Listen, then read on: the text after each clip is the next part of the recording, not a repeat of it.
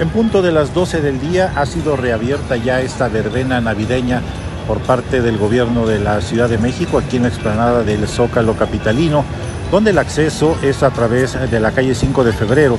La gente va ingresando paulatinamente hasta este lugar, hacia el circuito de la Plaza del Zócalo, donde se puede ingresar a una de las entradas principales donde se les proporciona gel antibacterial, se les exige el uso de cubrebocas, además promueven la sana distancia.